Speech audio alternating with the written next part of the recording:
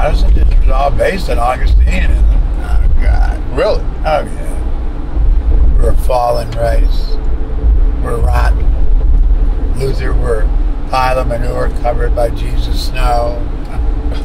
And Calvin was worse. Uh,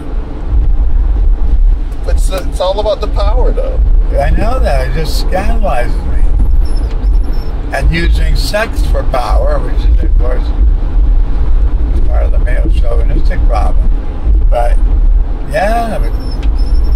and repressed sexuality for very educated men. Yeah, I think that's gonna be that's gonna backfire. Oh, it is. It's already backfired. And, and no reason not to ordain women. Of course, here's the thing that always happens in church history. Who gives a shit about ordaining women? We don't need priests.